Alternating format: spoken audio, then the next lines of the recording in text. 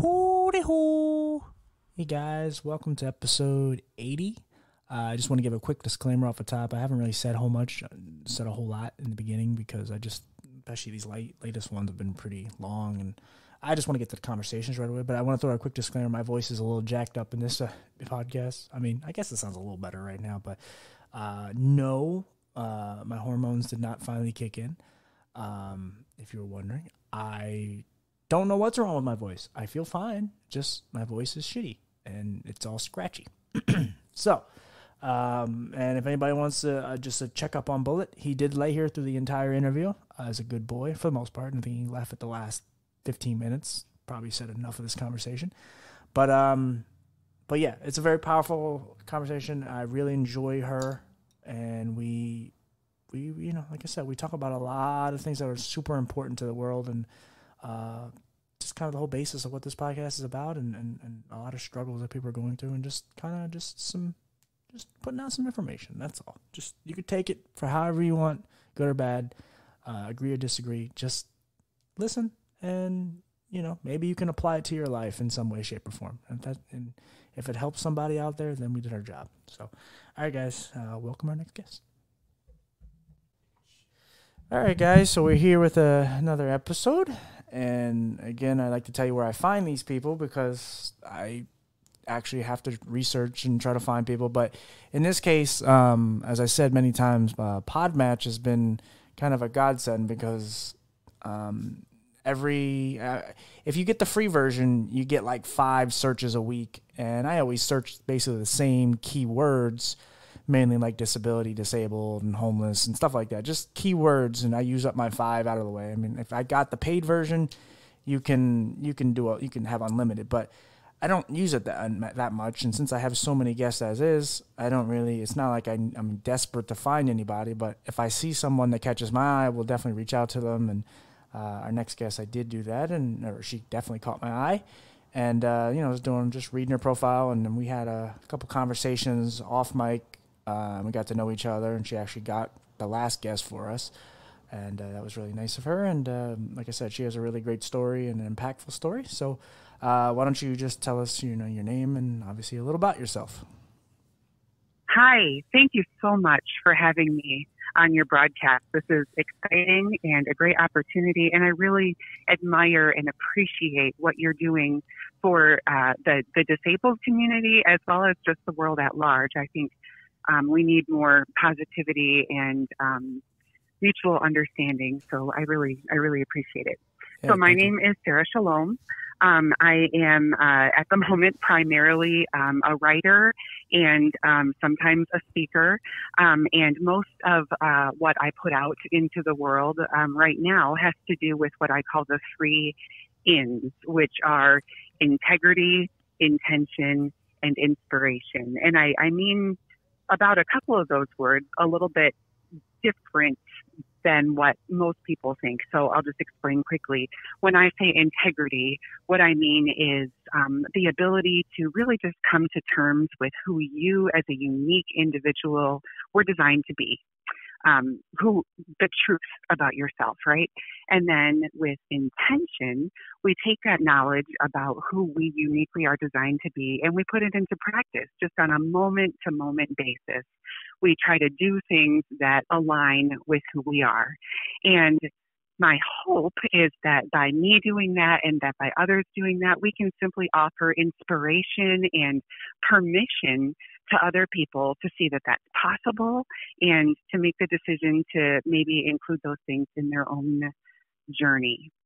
So, what I have in common with this podcast is that I have um, I've had a number of uh, physical and other kinds of setbacks in my life, and you know, I was wondering about how to mention that on your on your podcast and how to explain that. And just recently, I've had a really radical internal shift about how I'd like to tell my story about those kinds of things. So mm-hmm. maybe I can kind of say it the old way and the new way.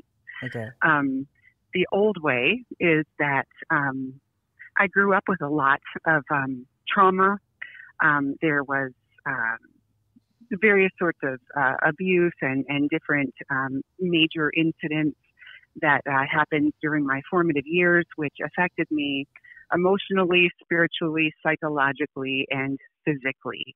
Um, that led to um, different kinds of um, mental health diagnoses and struggles for years and years. I was told, um, well, clearly I had a post traumatic stress disorder, and I was also told um, that I would um, be clinically depressed for the rest of my life and that I would always require interventions and, and medications for that.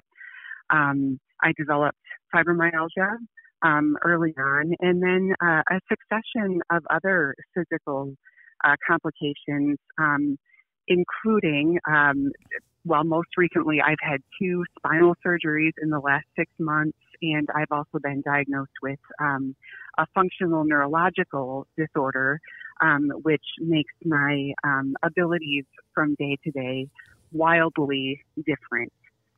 So, So when it rains, it pours. that's kind of what I had been leading with, and just you know all this stuff from the past and how it how it has um, brought about the problems that I have to try to overcome day to day. But as I've been um, convalescing, especially recently um, from my most recent surgery, I really decided that I don't want to tell my story that way anymore.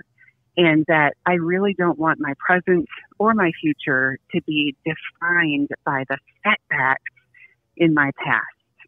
So I'm really kind of seeing myself as in the intermission of my life, and I've been thinking a lot about what the second half will look like and how it will be differentiated from the first.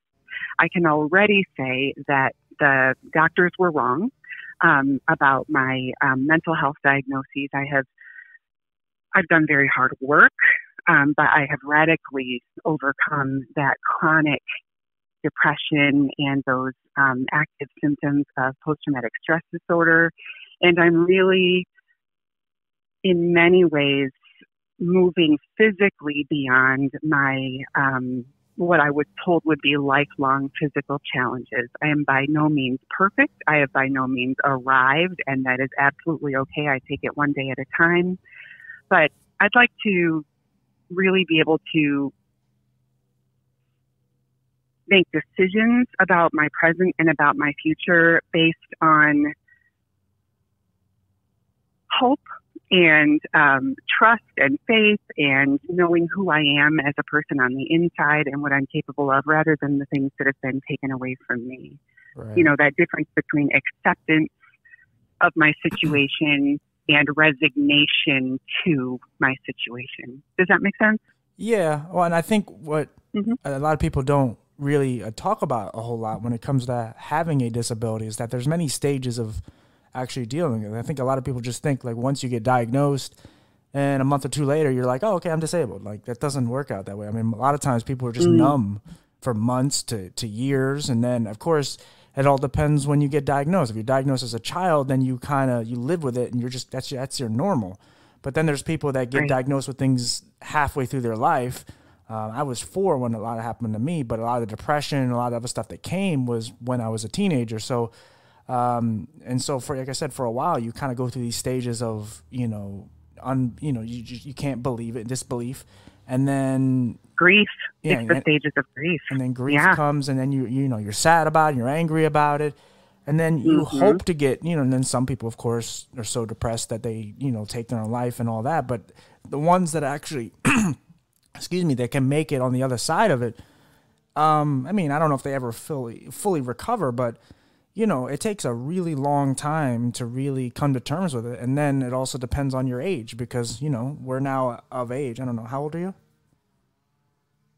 I am 45. Right. So you're 45 and I'm 32. So it's like, you know, it takes, and again, I'm not saying it took 45, but it, it took a long time, I'm sure, for you to really, because again, more information comes out, the medical, you know, all the, all the technology and everything that comes out. So everything is, you, you get, you get spread a little more light on everything that comes out. And, and then you just don't, um, like I said, you don't even have all the information to begin with, depending on, you know, what year or, you know, what decade you were born. So there's so much that kind of goes into just being, um, disabled and actually like living with what you have because you know like fibromyalgia like it's it's a known condition but i don't i wouldn't say it's like broadly like everyone knows about it because i mean we know it's a chronic illness but i mean how much do people know about fibromyalgia other than you know what you know, maybe one celebrity said they had it or, or whatever. But um, so, like I said, it, you know, and that's why it's important to do these type of things because you got to put the information out there because you know how many people like you are suffering from you know I mean even just the depression stuff, but the fibromyalgia and all the other conditions, the back surgeries, everything that you have. How many people have that? And, and you know, like I said, a lot of people are walking around and people don't even know what they have and, and don't even know anything about it. Um, right. Yeah. Go ahead. I'm sorry. You know, there's a difference too, though I would say between suffering with something and acknowledging that something is a part of your physical reality, but, or your mental reality or whatever, but having that only be a circumstance, an informing circumstance in your life, you know, to help, help guide your, your, um, so you don't burn out, for example, or things like that, but not allowing it to define you. Right. That's been part of my process with um, both the diagnoses of um, fibromyalgia, which I've had for years, as well as the neurological um, disorder that I was more recently um, diagnosed with, is that both of those tend to have stigmas attached to them that um, there are some people who, even medical people, who will say they're entirely psychological, right? Or they're they're entire, you know, it's all in your head, or you know, because you can't or you haven't properly dealt with your trauma or your mental illness or whatever that it's manifesting in physical ways. And that's a horrible way to come at these things because you're basically blaming the person who is struggling with these things for their struggle, and then that just exacerbates the the condition. Right. So it's really important to surround yourself if those are part of of, of your um, life story. You know, with um, professionals as well as um, supportive people who understand better the physical mechanics of those things. And not that you shouldn't be treated holistically. I truly believe in the mind body spirit connection. Um, and I, I think that that's something that's really lacking acknowledgement in, in Western medicine. But also, when we put the blame on the person who's struggling with a disability, that's not going to help the disability get any more manageable or improve at all. Right. Yeah. Absolutely. Yeah. I mean, especially, yeah. you know, because again, I've always said like depression and all that comes with it. And so, a lot of us, depending on what stage we're in, you know, mentally we're dealing with it. Um, if you start putting the blame on them and you start making it like it's their fault, and a lot of times life can feel that way because, you know, there's plenty of times, you know, just let's just say applying for jobs.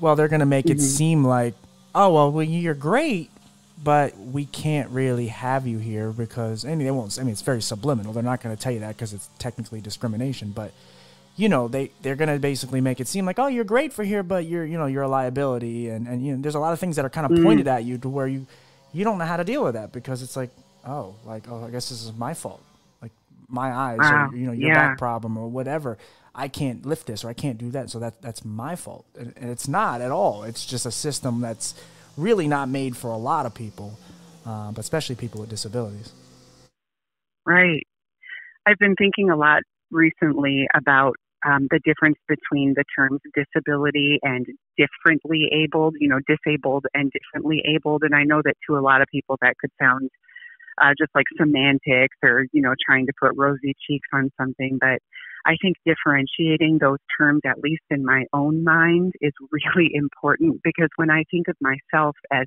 disabled, what that's saying is there's a laundry list of things that I'm not able to do and it defines me by the things that I lack. You know, rather if I think of myself as differently abled, that means I do have a laundry list of abilities. They're just not the same as maybe mainstream, the mainstream population has. You know what I mean? Which in a way is a superpower if my abilities, I mean, that's what superpowers are, right? is, is, having completely different abilities right. than other people. I often think about um, people who, I mean, certainly you understand this, who who who their um, different abilities include not being able to say see or hear or something, and that what happens is that you I don't like the word compensate, but I can't think of a different word right now. But you you um, you learn to expand your other senses, right? Beyond what most people have. If you can't see, maybe your hearing is really super good or your sense of touch or something that you notice things that normal people don't because you don't have something that they have. Right. Has that been your experience? Yeah, yeah. Uh, just part of what you were saying as far like, yeah, because I'm not a huge word person. I don't know. I, I go back and forth for what words to define it. Because again, I don't like the word disabled because it basically means we don't work, and um, mm. you know, because I always I always looked at it as like I remember playing some old video games and you know part of the mission is like oh you got to disable an alarm, and I'm like oh that's just kind of one letter over disabled, disabled. Oh, uh. okay, and it doesn't work, and it's like yeah, a lot of people think we don't work, and again in some cases my eyes don't work. So in some cases, people's legs don't work or their ears don't work or whatever. So it's kind of applicable, but it's also one of those ways to kind of another label to kind of put us down more than we already are. Um, so yeah, I mean, I struggle. I struggle with it because I'm not a word person because I feel like we have to have real conversation with each other, and I think we get to a point where we have all these words that we take out of our vernacular and we, and we just take away from the dictionary and all that because uh, you know, a long time ago, there was a conversation about, you know, what now people call the N word, but of course, people they wanted to have a um, a funeral for it, and it was like, okay, no one can say this word, and it sounded great on paper and it's adorable, but um, the guys who created South Park they said, hey. It's either all or nothing. You either take out all the words or you take out none of. Because as soon as you take out one, everybody's going to want their word.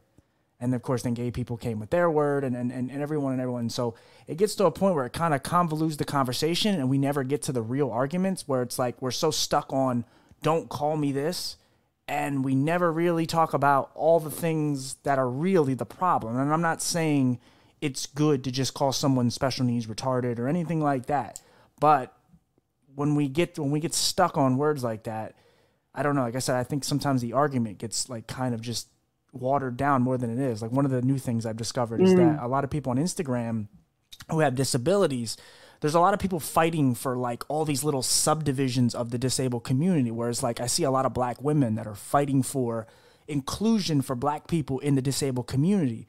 And I'm not saying that's a bad cause, but when you start to do that, it's like disabled people aren't included as it is. So now if you take it, if you cut another, you know, corner off, and you say now we want black people included. So then gay people are going to be like, well, we disabled gay people aren't included, and now women aren't included, and it, it's already so segregated from the blind to the deaf to the paraplegic, and no one is together as it is anyway. So now if you start cutting off the race and the gender and all that, it's like we are so far from actually sticking together, and we're stuck on these words and all this inclusion instead of just going, hey, yes, black people should be included, gay people should be included, and I am one of those but they all should be included with me. Not a. I just want what's best for me. Um, mm. And so yeah, I kind of went on a tangent there, but you know, so yeah, I know. But as far as yeah, my experience with it, it, it's you know, yeah, I mean, yeah, it's it's very similar to what you were you were saying. Yeah, I appreciate you saying all of that. Let me clarify a little bit in re- in response to what you said. Um, something really important to me. I'm not so much talking about um, caring about how other people define me, right. but rather how I define myself right, in right. my own mind.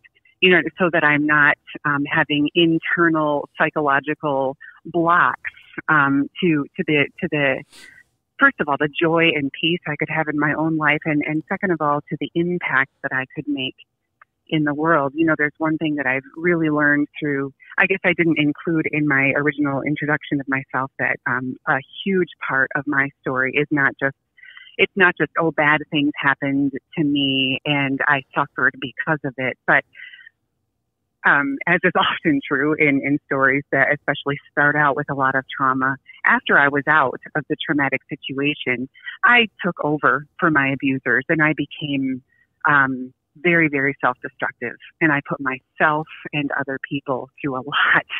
Um, because I was I was replaying my trauma is, is a way to say that, and right. something that I've learned um, in my process of um, uh, becoming my own friend and nurturer and ally, rather than beating myself up in various ways, very literally um, and figuratively, um, is that the only person I can control is myself. It's that, um, like they use in 12 step groups, um, the, the serenity prayer, you know, that says, grant me the serenity to accept the things I cannot change, to change the things I can, and the courage to know the difference.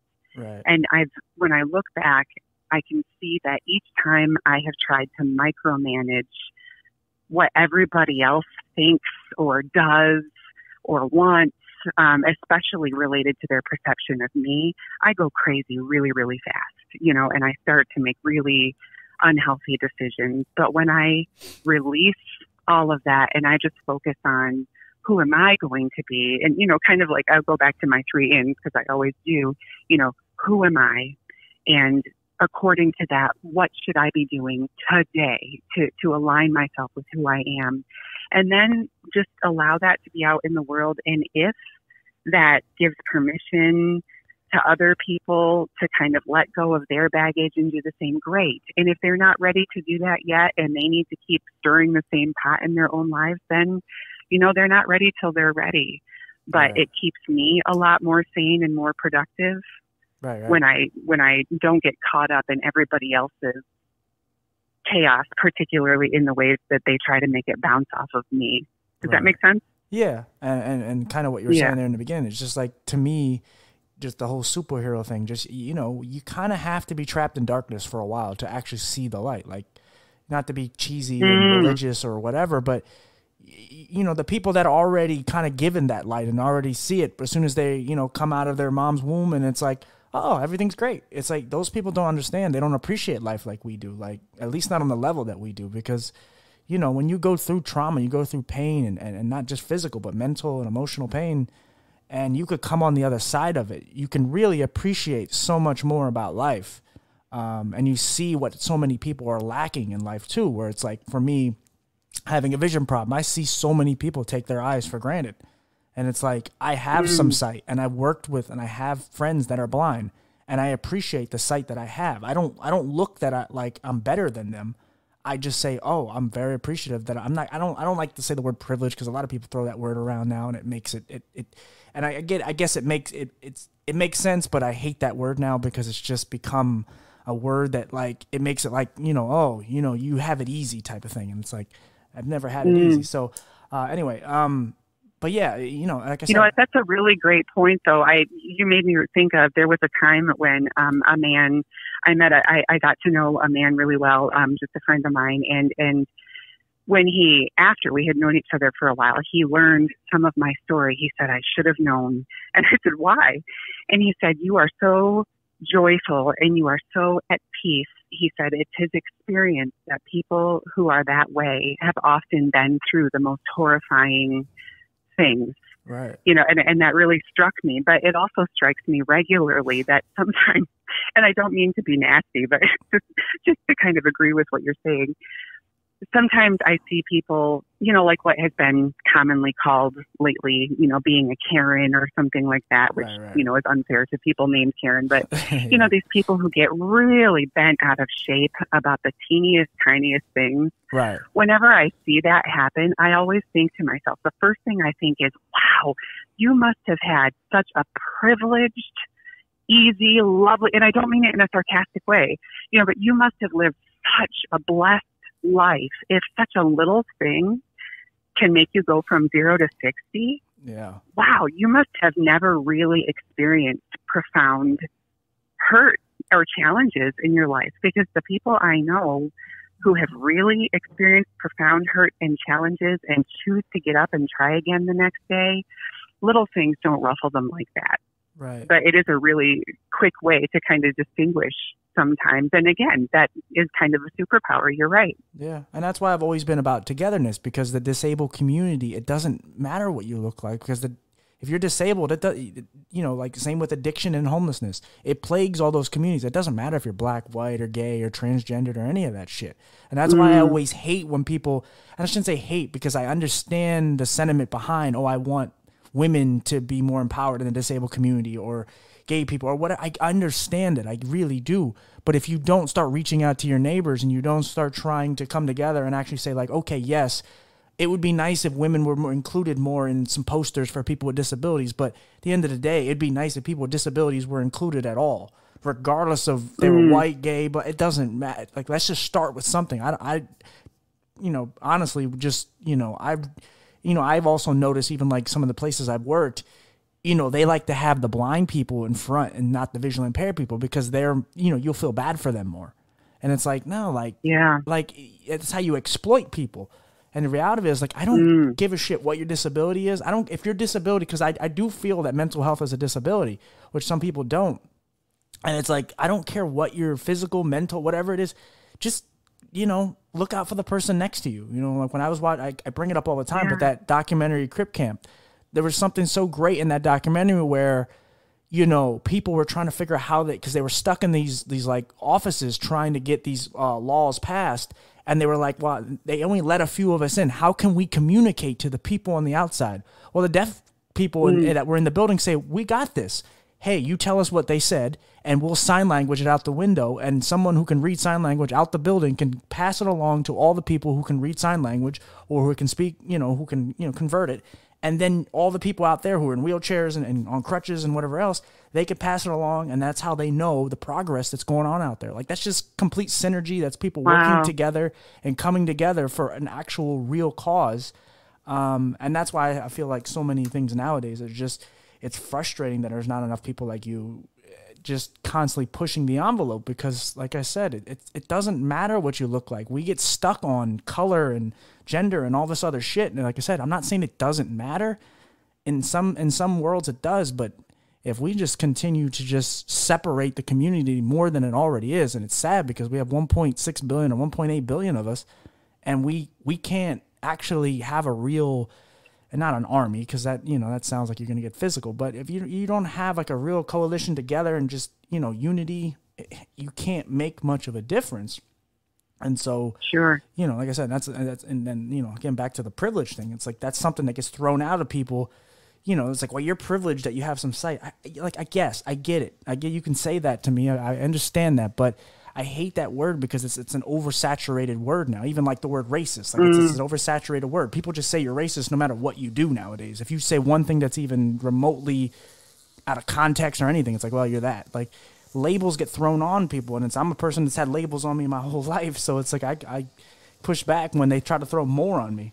Um, Sure. And so, you know, like I said, that's that's why the whole purpose of this podcast is just to have real conversations with people. I don't give a shit what you look like, and that's why, you know, I've, I've looked through the, the, the, the guests and all the people I've had on, and there's not one person that's really similar to each other. You can't say like my demographic is white people or, or even disabled people, because I would probably say most of the people that listen to me are probably not disabled Right. because our community is so hard you know that's a great thing about your mission and about your message that i've noticed consistently is that you work hard to be inclusive and to identify the things that we have in common and how that's a strength rather than the things that separate us. And that's that's cool. It's funny you said i'm pushing the envelope and and i, I see why you think that and, and why it comes off that way. Um, and I think that maybe my past self would look at me now and see that too. But the beauty of um, continually doing my own inner work um, is that what looks to the outside like pushing the envelope is just really me naturally growing and joyfully blossoming and doing what seems like the next best thing. You know when we when we put the pressure on ourselves of how is this going to come off to other people or what are people going to say about me or that that that can make us wash down and and be editing ourselves so much that it's Right. like we're i mean to to use a word a different way you know we're handicapping ourselves you know and our and our potency but i can also say you know, i'm really liking this superhero analogy one thing that has been a gift before you before you go on, I just me, wanted, and- sorry, I just yeah. wanted to add one thing. Um, no, because I, I, when I say that you are, it, I don't. I think it's a natural thing. Like even when I, and you could promote the Instagram and all that, or your YouTube later and everything. But you know, I watched that YouTube video where you're breaking down your three ins through Lion King, and it's like it's a very. It, it, no one would ever look at it that way. But like you're you're simplifying it, and you're making it so people understand it, but on, on a, even on a story that everyone knows and loves.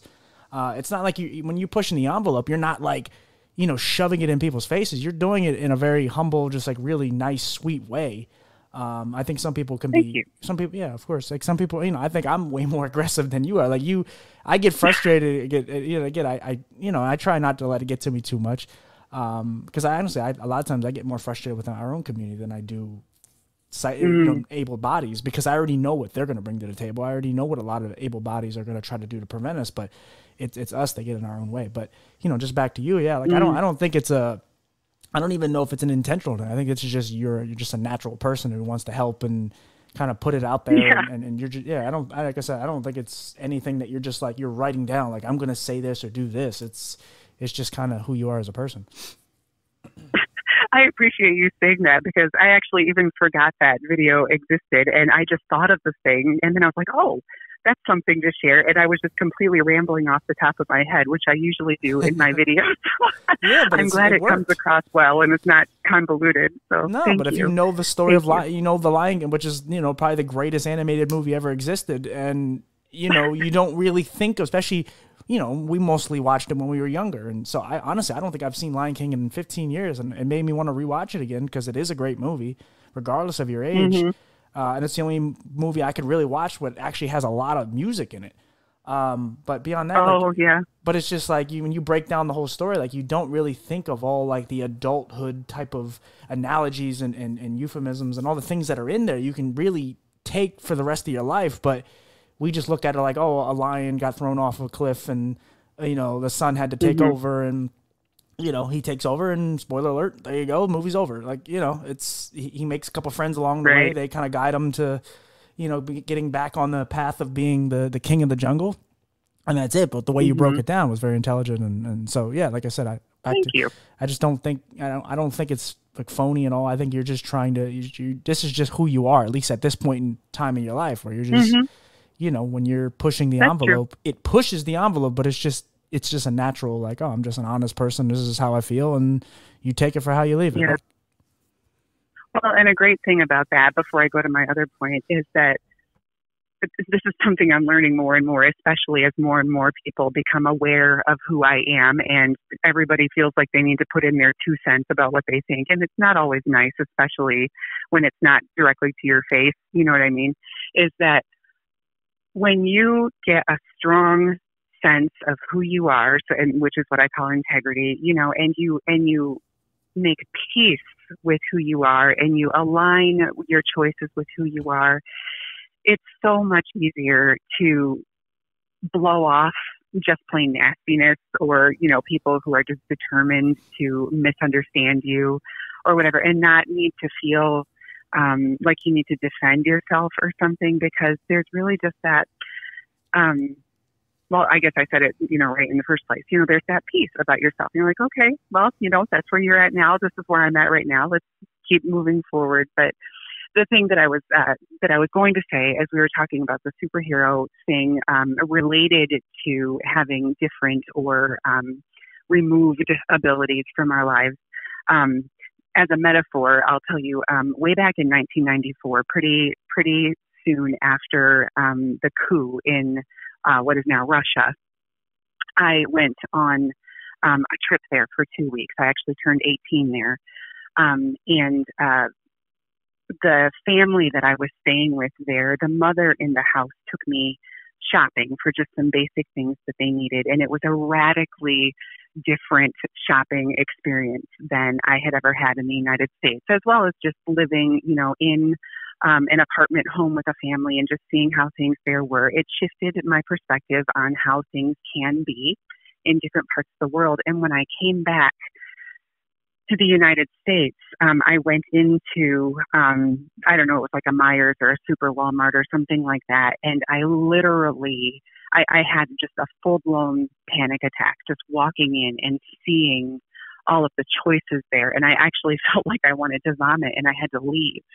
And it took me a few weeks before I could navigate the number of choices available to me in stores in the United States after just a short period of of um, experiencing a different way of uh, of living in, in another part of the world. And the reason I bring that up is because for so long in my life, I was my my I was completely just halted in my life by an excess of choice. I had so many interests and so many things that I wanted to do.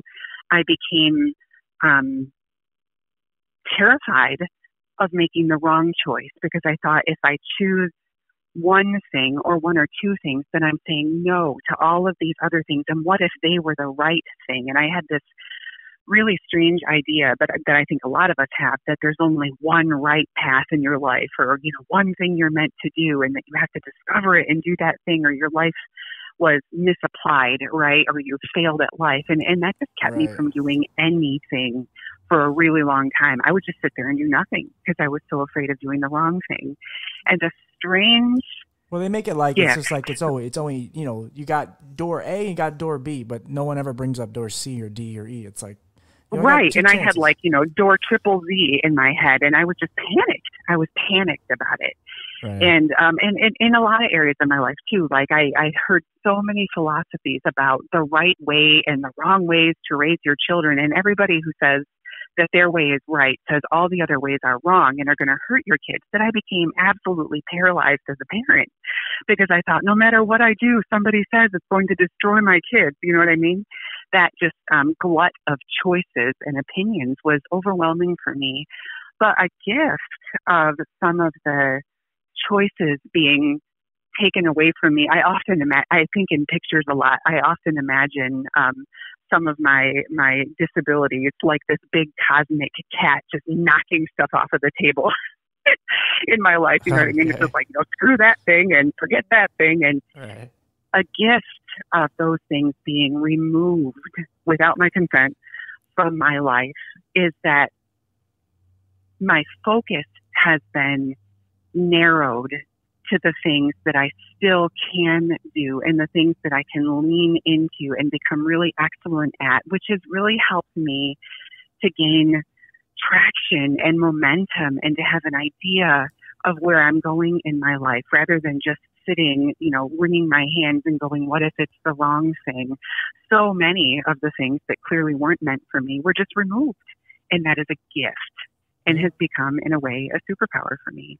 Yeah. When you know what you don't want or what you can't do, that helps you to know what you do want and what you can do, whether or not you're the one who decided what is or isn't possible. Does that make sense? Yeah, I mean, and we're we're very we're a lot like computers. Like you really need to just kind of if you have a computer and, and you know you have I don't know let's say uh, you know some type of sort of uh, you know malware software and you're just you know for viruses mm. and you you got to do a whole scan of your body and your mind and I mean that's part of meditating is just scanning your body and seeing what was aching and and, and you know what is just irritating you but also just mentally right. just kind of go through your whole body or your whole like just life and you know I remember being in therapy and just talking about my dad one time and I just went on a rant I just started shitting all over my father and just going and again I had mm. thought of him and not even just thought of him I mean I, you know every once in a while he popped in my head but I I never really addressed it to anybody, and it just came out in therapy. And I wasn't, I didn't think I was hiding it. It was just one of those things where it's just like I had so much going on, I just didn't feel like addressing it or whatever. And it came out, and I was just going at him, and I'm just like, man, like I think this should have been something I should have addressed a long time ago. And I was because yeah. I realized I was so angry about it, and it's it's kind of like you just gotta cleanse it. I mean, not to gross people out, but you kind of need like an enema for your brain. You just gotta cleanse everything mm-hmm. out of your mind, and and and you know, and again, there's some stuff and it's probably just going to linger and whatever. And you know, again, you can't forget all. There's certain things in your life you'll probably never forget, um, good or bad. But you just got to get to the kind of the root of everything and realize like what are the problems because you know one of the big things that everyone tends to do is they try to you know before they really take the onus and actually say you know you know again back to the 12 step you know one of the number one step is to you know realize you have a problem and if you just mm-hmm. think everyone is the problem, you know, like I, one of the things I get mad about people with disabilities, we tend to try to blame people who are able bodies, acting like there's nobody out there who are fully functional and they're not great people. There's plenty of them. And, you know, someone right. we live with, you know, our caregivers, our doctors, you know, there's our family members, whatever. Um, And so we got to realize what our problems are first before we can even try to detect, you know, and again, we, we got to kind of get past what are the, the hurdles and the problems because they're going to be there, especially if you have a disability. Hurdles are just going to exist. So um, you kind of have right. to just get to the root of all your problems. And then, you know, once you kind of realize, like, okay, my problem is that I, whatever, I procrastinate, I do this, I do that. And then you kind of re- try to find ways to solve it. And, um, you know, I right. you you got to realize that you're never going to be perfect, but you got to try to find a way to get as close to it as possible. And again, you'll never right. get close, but if you can constantly improve yourself, you know, I think you know, especially when you see these older generations. Like my grandma is so stubborn; she won't fix anything in her life. I love her to death. She's 89 years old. She's very healthy, and she's going to outlive a lot of people that I know. But she's so stubborn with so many of the, her her way of, of just going about her life. It, it's very very frustrating because I'm a person that really, again, and maybe part of it is I'm also just I'm I'm hard on myself and I'm never good enough or whatever type of ordeal. But I also always try to better myself, whether it's my mental health, my physical being. You know, I'm I'm considering cutting out caffeine altogether in my life, and I've been drinking caffeine my whole life. Um, but it's something that would have never crossed my mind ten years ago. Um, and it's just you yeah. gotta try to better yourself because there's a lot of shit out here that's just you know polluting your mind and, and your body and um, not to be preachy, but it just is. And you gotta just do research and you gotta you gotta start with yourself and you gotta you know work your way down. You gotta care about yourself. You gotta realize what problems you have and then try to get some tools to fix it. And then um, you know, like I mean, like look at love. Like I'm a person, I'm single. I've been I'm always lonely and frustrated. But one of the things I have kept trying to fix is to fix that void by just throwing any girl into that void that hole and just like here you go you'll fix mm. it and then it's not because i don't you know yes it's it there's nothing wrong with wanting love and, and and you know being a decent guy who's loyal and you know yes you can be a good guy out here or be a good woman out here but it doesn't mean you're going to just automatically attract people like you because you're one of those people because you're you're an easy target to be taken advantage of and if you have, you know, with me, I've learned to get tougher skin and try to be, uh, you know, I don't want to be too hardened to the world because that's when you start to just don't let anyone in. But you have to really, you know, you have to have a balance. And so you can't just yeah. fill anything with just, you know, oh, it's, it's a person, it's a body, it's, it's whatever. Yeah. It sounds good on paper. Oh, she's nice. Yeah. It's not going to work if you don't really take care of yourself because if you're not mentally right. or emotionally ready to, you know, get into something, it's not going to work. So yeah, I mean, right. Knowing your own worth is really important. You just said so many good things. I'm trying. I'm actually jotting down a couple of notes here so I don't forget what you said. you know, you were talking about your grandmother, and that that uh, reminded me of there was this um, book. I don't know if you're familiar with. There were these really popular children's books uh, a couple decades ago called the Berenstain Bears. Oh yeah, yeah. and one of the yeah. first books um, was called The Bike Lesson and it was written in um, rhyme. They started out written in rhyme, and there was only the brother bear, the boy bear, and um, the, the he gets a gift of a bike from his father, and he goes, "Oh, can I ride it?" And the dad's like, "Oh, no, no, no, no, no! First, I have to show you how to do it so you don't hurt yourself." So there's this series of um, events where the father keeps going, okay, here's what you do. And then he completely botches it. You know, he ends up in a tree or, you know, being chased by bees or in a lake right. or whatever. Right. And each time that happens, he tries to pretend like he meant to do that. You know what I mean?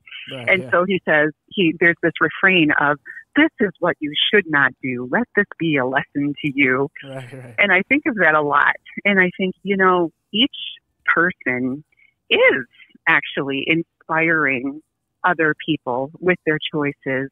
The difference is some people are inspiring others by going, wow, I'd like to make similar choices and have similar outcomes in my life. And then there are certain people in our lives that stand as examples of where we don't want to go and who we don't want to be. And that can be equally blessing and useful if we're willing to take in, in a non-judgmental way, those lessons. It's like I tell my kids, I have, I have five, uh, just about grown children, and I tell them all the time, I do not expect you to make any of the same choices that I've made or to believe the same things that I believe, but I am going to share candidly about where I've been and where I am now and why. And I would like you to take that information and make informed decisions. Life's too short to make all the mistakes yourself, right? Learn from somebody else's or from their triumphs. Yeah. And if you can learn anything from my life, including I never want to be like you, then okay, I've served a purpose in your life. Yeah. And that's really good. But also, you know, with what you were saying, right now I have been behind the scenes. I guess it's the first time I'm saying it publicly. I've been working on um, a bigger writing work um, related to resentment and um, shame, um, informing that too. And that really informs a lot of what I write about anyway, even when I'm not coming at it directly. And shame and resentment really do. You know, earlier, I was talking about the mind body spirit connection. And, and while I stand by what I said earlier in our conversation about how it's not useful to blame people with disabilities for their disabilities, at the same time, if we're not willing, like you were bringing up, you know, to do that inner work and, and to recognize, oh my gosh, I am holding on to bitterness and it is literally becoming a part of, of toxicity in my body that's coming out. It's manifesting in physical ways. You know, for example, just really simple examples. Your neck hurts all the time because you're clenching your teeth because you're trying not to say out the nasty things Hmm. that are in your mind. You know, it's two much bigger examples. You know, that if we don't do that inner work and we only treat the symptoms in our lives, that we're not ever getting to the root of what's causing us Yeah. discomfort and dis-ease in our lives, or what at least is making it harder, the things that are completely out of our control, like being born blind or something, you know, that can be more or less of a disability depending on our attitudes about it, right? And and what we tell ourselves we can and can't do, or um, if we choose to blame um, other people or ourselves or God for our situation, or you know whatever. That those things are really, really intertwined. Not to blame anything for any circumstances, but the more we can root those things out in ourselves, and the more we can take responsibility for our own attitudes and the ways that we frame things in our minds, you know, in our thoughts, create our beliefs, create our actions, create our experience, mm. you know, that the more our experience can change. Right. Yeah. I mean, like what you were Yeah. saying, like I every person I've ever come in contact with, good or bad, probably eh, that that I can recall have have made an impact on me, and I, I've always looked at it like, look, every mm-hmm. good person has some bad in them, and every bad person has some good in them. So you can take what you want, and look, uh, like as I said, I love my grandma, but she has certain qualities, and she's also old school. She's eighty nine years old. She's born in a different time. There's a lot of beliefs and things she has that I don't agree in. But my grandma is 89 years old. She walks a mile a day. She, you know, she does her, she cuts her own grass. She sh- shovels her own snow Wow. or snow blows Wow. it. But, and again, people will say, well, why did you take this stuff from her? It's like, dude, if you take it from her, she's going to just say, put me in a home. And anything she asks Yeah. for, I'll do it for her. And I have. But she, she has all these great qualities and she's, she's a very strong, tough woman. She's independent. She's, an, you know, like I said, she's a woman who, when her husband was dying and he had MS, he was 300 almost 300 pounds. She's maybe 110 tops. Very skinny slender woman. She took care of him. She bathed him. She got him into his wheelchair. Yeah. she did all these things for him. And that that yeah and Yeah. that strength it, it, it resides in me in, in other ways. Um and so you know i again and then i take the bad stuff that i don't like about her and i delete it and i just say okay i love this part about you my friend lori when she died there was qualities i loved about her and she she she was in my life for maybe three years but those those three years still haven't you know dissipated in my mind i you know i told her story on here and you know the qualities that she you know gave me I still bring to this day. I, I literally carry on. I feel like part of my life is just to live more for her. Um, and so, mm. and so that's again, like I said, there's plenty of people that have come through my life, even when I wasn't great with me. Me and my dad were on the greatest terms. He did teach me when I was a kid that when it comes to like guns, he he was a hunter, so he would always have guns in his safes and stuff. But once in a while, he would leave a gun unloaded on a table just to kind of tempt me to see if I would play with it. And he and I'd always run to him and say, "Hey, Dad, you left the gun out," and he would put it away. And it was just a you know, and stuff like that resonate with me. Even if I didn't, if even if I was at my heyday when I hated my father, I still remember those type of lessons that he taught me as a kid. So mm-hmm. you know, and again, so you get to a point now where you know we're now in our adults and we know kind of who we are and you know kind of where we're headed at least for the most part. you kind of take all that for good or for bad and all the people and then you you know that's how you kind of develop to be a great human i think everybody wants to try to be this original thing but i don't know if they're especially i don't there's really nothing that's original anymore. Everyone just you know every idea is kind of from Mm. another idea. It's just you make it your own and and you know look at music. You know Right. no one you know Right. love has been talked about a billion times. It's just the sound of it. It's original. When you hear adele you know her voice is her vocals are so much stronger than most people and just how she per, you know puts it out there to the world. It just sounds different even though the subject matter is the same so Right. you know it's just you gotta try to own it and make your own thing. It's like you know what you and i are doing isn't original. It's just we are our own people. We're our own character now. We you know we live in the confines of you know we know who we are and you know we're we're good with that. And we we've owned who we are. Right. and so that's kind of how you yeah again like i said back to just kind of owning who you are and figuring out all your problems and um but again realize that you know look through your entire journey and go okay i met all these great people whether they're family friends enemies and you realize like a lot of the things that you are um even celebrity stuff that you get from whatever you pick up on and you go like okay i want to add that to my repertoire to my toolbox. And then you don't even know you're really doing it you're just doing it and then someday down the road you're saying a saying that you never came up with you just heard in passing and you're like oh okay. Oh i i, I use that because of that person. So it's kind of yeah it's kind of how you evolve in life Yeah.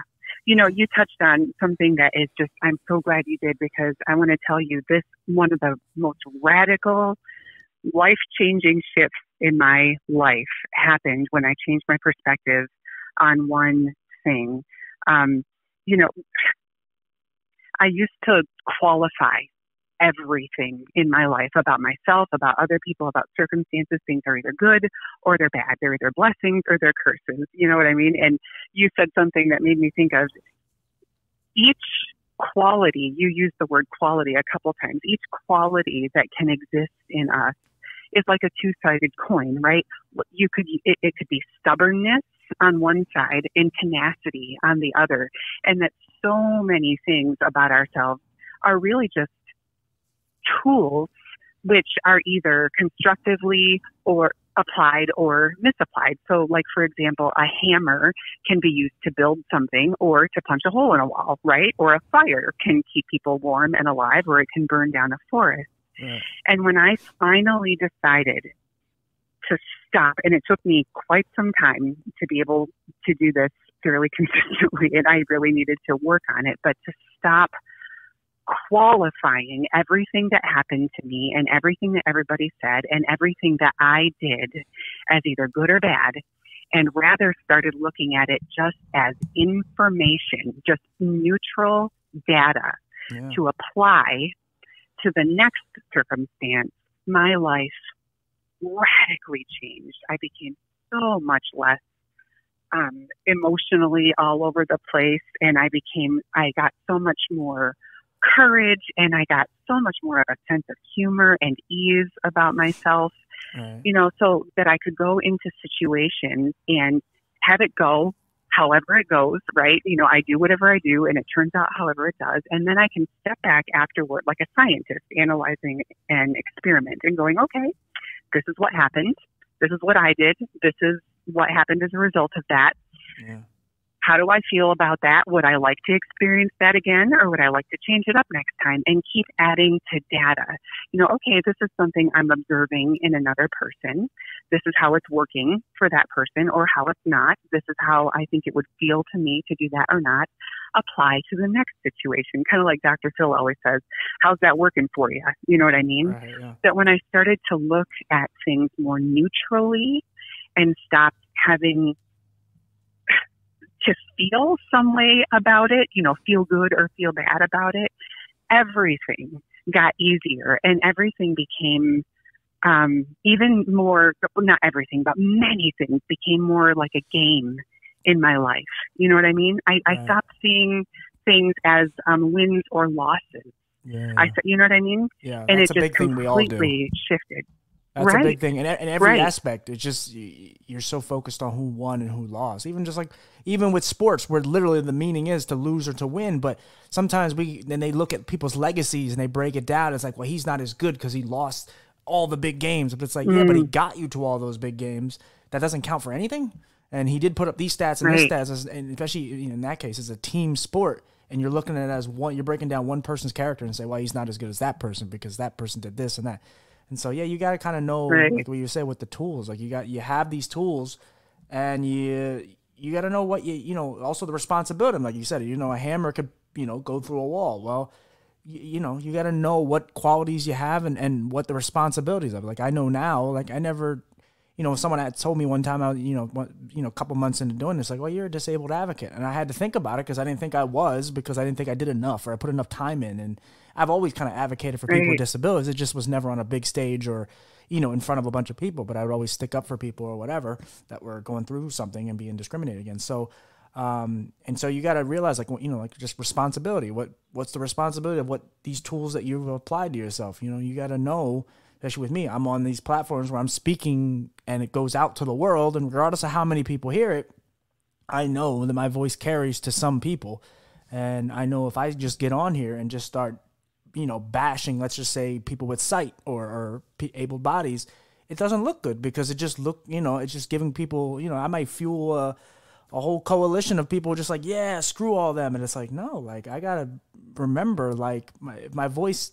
The more people listen to me, I'm when I started off ten people, and now it's a few hundred. So it's like if I just start mm-hmm. saying this and that, a couple people may hear me and take that as yes, we need to strike back or we need to do. It's like no, like these are tools. You got to know how to use them mm-hmm. properly. Again, they either go through the wall or they could just punch the nail in. You gotta Right. just because you have them, you also got to know the responsibility of it too. And you Yeah. know, and again, you may have take a quality from someone, and they may have misused it, but you recognize that it was a good. It's a quality nonetheless that can be exploited in a good way. But if you, the way they used it was improper, so you take it and you go, okay, this is how you use it. Right. But if you, you know, again, if you go by example, you could misuse it just like they did. Right. I remember years ago, my um, little brother, who who has now passed on, he he said to a group of people, and and he he meant it um, as a nasty thing at the time, or or to kind of discredit um, uh, what was being said, but. Um, we have a lot of uh, kind of charlatans in my family, I would say, you know, people who are good at um, BS. And, and he was acknowledging that by saying um, anybody in our family could sell ice to an Eskimo Okay. and he meant it as a nasty thing. And it's not until fairly recently I thought, you know, there's a strength in there when when applied with integrity, you know, and and not you know to to hornswoggle people. But you also brought up a great point, or or glanced up against a great point in in what you were just saying. In that, I think it really matters in our lives whose not whose opinion counts, but how much personal stock we put in different people's opinions, right? Like, should a football player care more about an extremely unhealthy person chain smoking and eating pork rinds and yelling at them from a couch Right. about what they should or should not be doing? Or should they put more stock in what their coach says they should or should not be doing, right? And that sometimes we can get so wrapped up in the opinions of, I actually just found out this week that someone I have never met or interacted with was um, spreading some really ridiculous um, rumors about me. And I actually, I laughed when I heard what was being said because I was like, well, clearly we have never met. Right. you know what I mean? yeah. But you- years ago, that would have completely melted me down, and I would have felt like I needed to do something about it and track down that person and every person they've spoken to and defend myself. And now I can go, okay, you know, whatever. I mean, like, why should that? Why should that get me off track about my idea of myself or my worth or what I'm doing? You know, it shouldn't. That that opinion really doesn't matter, and it's clearly more about that person than it is about me. And I don't mean that at all in a nasty way, but a, a neutral, you know, a, in a neutral way. You know, but there are people who know me well and whose life choices and personal ethics ethics I deeply respect.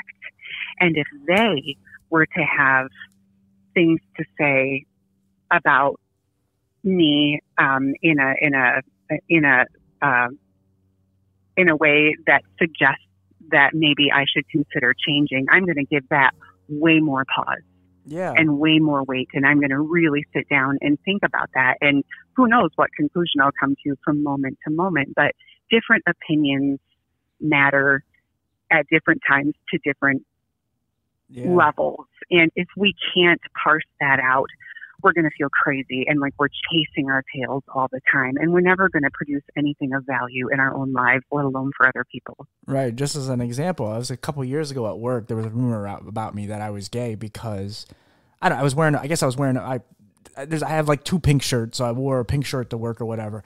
And I and I. But that wasn't even that. It was that I kept like my my guy friends. I would throw my arms around. My one guy friend was completely blind. He didn't have his cane with him, so I was just guiding him around. But I was like, I had my arm around him. Mm-hmm. We were just kind of just bouncing around and whatever the hell.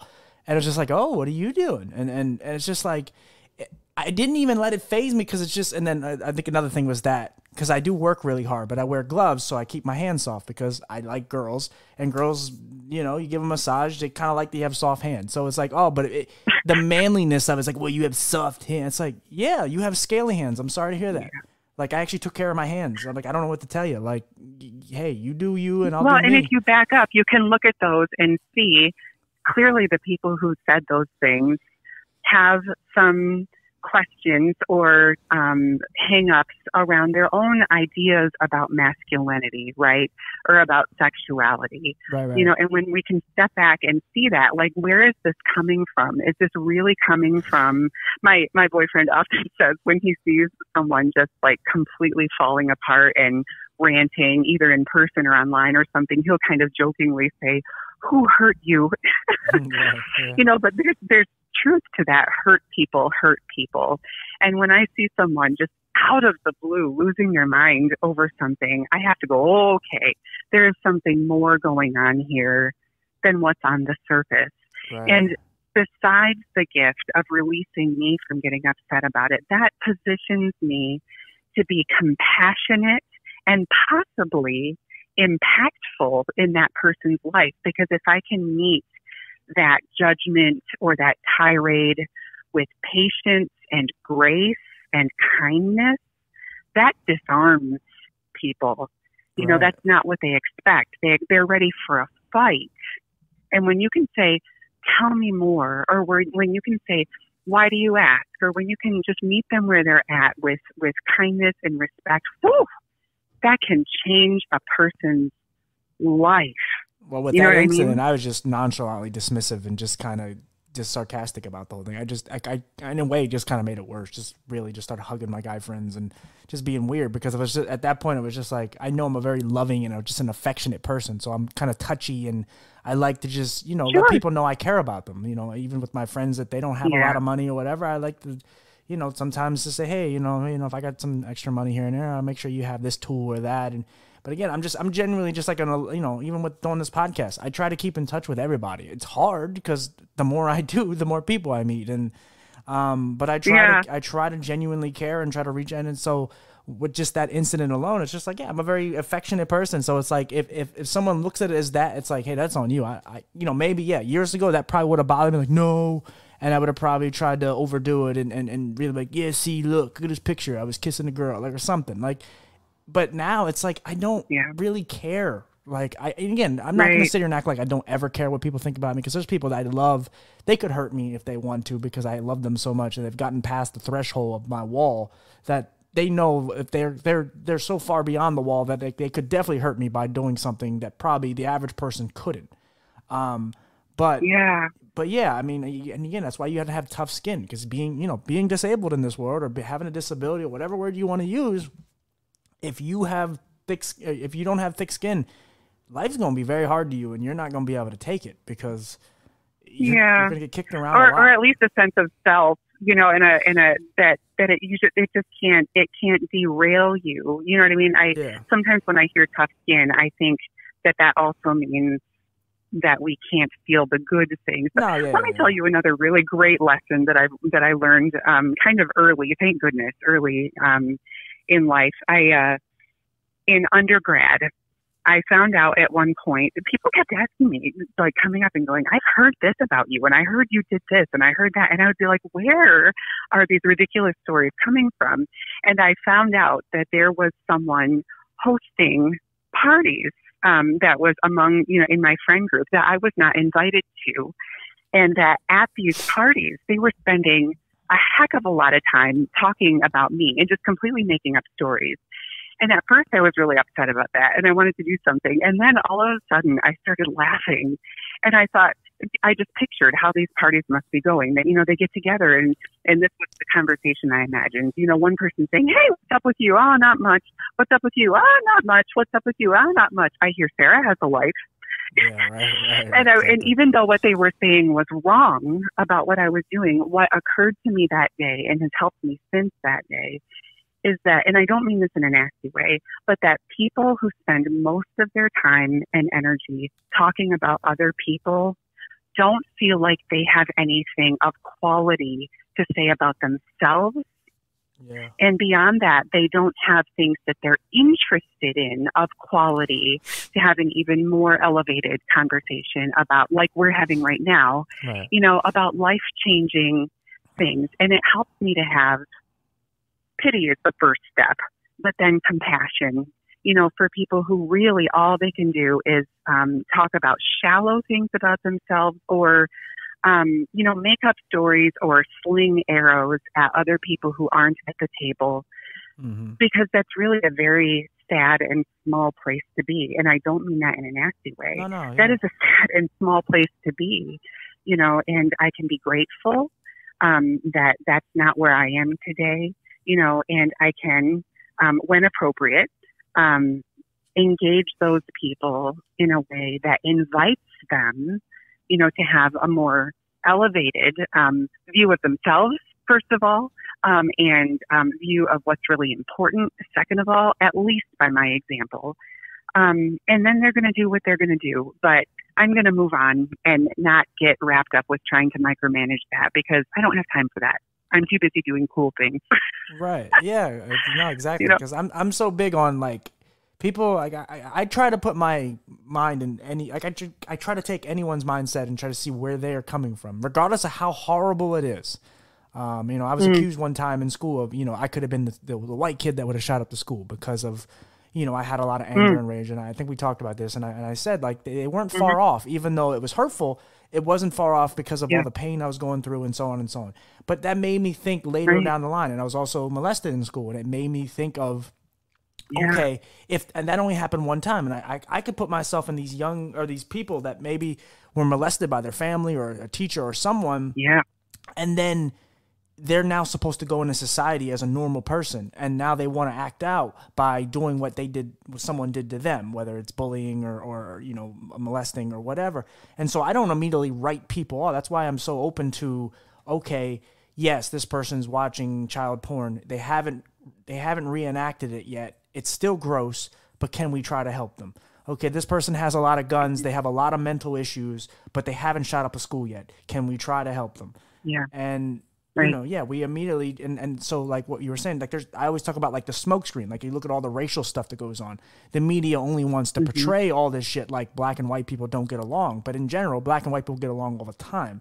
It's just that's not something you can sell in a blog or in an article and so we have to keep keeping each other by divided by going oh what's going on over there oh yeah they're nothing like us and this and that and it's like yeah, okay, whatever. But you know how similar we really are? I remember having an argument with a bunch of guys in, in you know, I live in a predominantly white area now, and I lived in Philly so for a while, but now I live in a more predominantly white area. And I was arguing with all these guys of how similar country music and rap music was. And these are all these diehard country guys. And I'm like, do you understand how stupid your argument is? Like, you, you get it that, like, you both like trucks. They just like Escalades. You like F 150s. You both like weed. You both like guns. You both like women. It's just maybe the color the, the color of the woman is a little different. Whatever. But in general, you both like the same shit. The, the it's just there, there's a little twang to yours and there's a little hood to theirs. But overall, it's the same thing. You guys just don't want to realize it. And I would have the same conversation with black people about it on, you know, hey, country music's just like your music. You just think their music is shit. But overall, it's very similar. It's just we have all these things in the middle that keep us so again segregated just in a different way now. Mm. You know, it's not the black and white, you know, bathrooms and, and, and all that. It's just we do it now to ourselves. We segregate ourselves because the one thing that people don't want, even back to what we were saying originally about the disabled people and all the difference of people in the community, if we actually just realized how similar we were to other people and trying to we're trying so hard to be different and there's no one like us and all this other shit it's like no we just need to have real conversations and yes we may not agree with everything someone says i may hear a, a you know a black panther say how shitty white people are i still want to hear how he mm-hmm. got to that conclusion i still want to hear why he hates me yeah, I don't I don't agree with mm. anything the Klan or any of these, you know, radical people towards gay people or people with disabilities or I just want to know how we get to that so that we can rec- so we can correct these things and so that we can be better people. But we can't if we don't mm. have the conversations or we don't realize that our neighbors who we, we just despise, you know, are not that far off from us because the reality is we're one right. we're one incident away or, or just certain hardships away from being, you know, again, I could have been a school shooter. I could have been a molester. I could have been uh, any of these things because of the experiences that were put on me. Um, and yeah, you know, there but grace go I. Yeah, and if I didn't, yep, if I didn't have true. an eye problem, I might hate people with disabilities. I might discriminate against them. I don't know. I can't say I would or wouldn't, but I might just be a complete yeah. asshole to people with disabilities because I'm a fully sighted person running around, and my life was privileged. But that that wasn't the route my life took. So I can have open conversations. Right. But again, I also think a lot of the things that you and I have within us are things you can't buy, and these aren't things that you can just manifest out of nowhere. Like to be a strong person, there's not a lot of strong people in the world. There, there's a decent amount, but you don't just wake up strong. You don't just wake up, you know, uh, kind. And you know, there's a lot of things that some people just have, regardless of the circumstances that have been put on them, and, and just the things that just have plagued their lives they, they still somehow push through it, um, even if they're not always themselves. Yeah. But they have these qualities that you just can't you just can't you know appear. Uh, and just like I said, you can't you can't buy them because they're invisible and they're things that just you were born with. I agree with you, and also this is one of those two-sided coins as well, because although I, I agree with what you're saying about our circumstances can radically change our perspectives and our choices. On the other hand, so often circumstances bring out what is really deeply in us in the first place. Sure. I, I, a metaphor that I've heard before is that the same sun that cracks or that hardens clay, right, or the same heat that hardens clay melts wax, right? And the difference is not the heat. It was the same circumstance. The difference is the substance of what was exposed to that circumstance. You know, you can have 10 people go through the exact same thing, thing at the exact same time, you know, be in the same spot when the, when a certain traumatic thing happens. Mm-hmm. And those 10 people can take that experience and based on the thoughts that they have about it and the and the beliefs that they bring to it, right, and the and the actions that they take as a result of it, come out ten completely different ways. Right. You know, and that's that's that's huge to me. Is that that idea? I know it's become cliche to say that, um, you know, life is nine is um, 10% what happens to you and, and 90% how you react to it. But I really, I really I have seen that truth in my own life and in the lives around me and, and growth through growth in my life. You know, I, there are ways that I used to respond to certain things that I choose to respond differently now, but I think choose to is the really operative part of that sentence because so many of us operate our entire lives on complete autopilot, right? And we just, you know, something happens and it's a trigger and something goes off and we don't back up enough, right. you know, to get to, to observe what's happening within us and what we're choosing, you know, how we're choosing to process that thing. Right. Um, and perceive it and and respond to it, and so we're reactionary rather than um, responsive, and and then you know we're really just we're like pinballs you know, in a pinball machine in life. And that's, that's really crazy making. Right. I mean, yeah. And damaging. It damages yeah. us and others. Yeah, I guess I think it's the same argument for the people that, like I said, if something hits someone ten different times, even if you go back to like if I use sports as an analogy, like you see a guy, they always talk about guys who are the greatest or the ones who are the most clutch, the ones that can get past the moment. And these are things that no matter how physically gifted, there's players that are physically more gifted than these other guys, but mentally they, mm-hmm. they just had something that no one else had. And I think like, you know, yeah, if Right. something lands on someone 10 different 10 different people, it's going to go 10 different ways, but there's certain ways that people go about it. Uh, they just had a quality in them that yes, maybe that would have never came out if that circumstance never happened, but it was always within them. It's just it took something to get it out of them. Um, but they had it there Right. nonetheless. Whereas the other nine or the other eight didn't have it, and they did go a different route, good or bad, but they just didn't have that extra quality that made it just it just it brought it out even more, uh, and and more to the the forefront, and actually made it you know just you know like I said change their lives. Like I said, so I just feel like some qualities and, and people, some people have certain qualities that you just you may be able to adapt. Maybe some people really can adapt things later in life, and and but I do think some people are just born with certain things. Like I, I you know I interviewed a woman who's a, a disabled advocate. She's not she doesn't have a disability at all, but she met a person who had uh, like a deformity with her nose, and and mm-hmm. she got made fun of all the time. And she just she was the one girl that sat down at her table and hung out with her and realized she was a good person and she wanted to be her friend. And that's not the norm. That's just something that Right. she was just she was just born kind. Like that's just something. And again, that sounds weird because you know I think I I've you know we all don't make the greatest decisions and so on, but there's not a lot of people that do that. Will just sit down and actually sit next to the the outcast. Because most people are just Right. like, especially in school, when you're in, you know, you're most impressionable, and it's like, oh God, I can't be with the nerd or the ugly kid or whatever. But someone like that who clearly and she was she's also a beautiful girl so she can fit in with the beautiful girl. She could literally do whatever she wants. She doesn't have to sit next to this girl with this deformity. She could just go oh okay i do feel for her but i'm not going to put myself out there like that. I'm going to eat lunch with all the cool kids.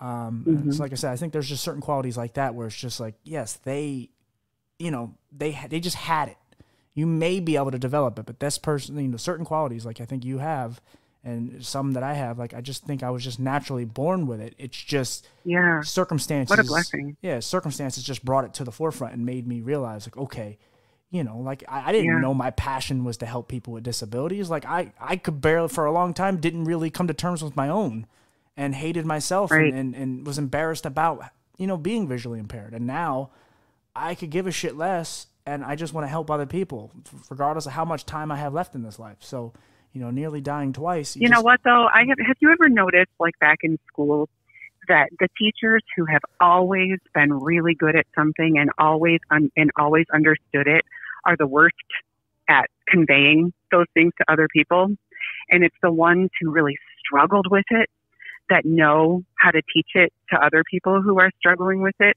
You know what I mean? for the most part like yeah. there are certain things I was just born knowing or you know doing very well and I really stink at teaching them because it's like I mean for me those things are like breathing but Right. the things that I had to cultivate and the, you know the, and really earn and really learn are the things that's where the power of of of spreading a, a new kind of message to other people comes from so it's two different kinds of strengths there are those intrinsic ones and there are those learned ones. But you know, with the learned ones, it really requires willingness and some humility. And something that I needed to learn um, is that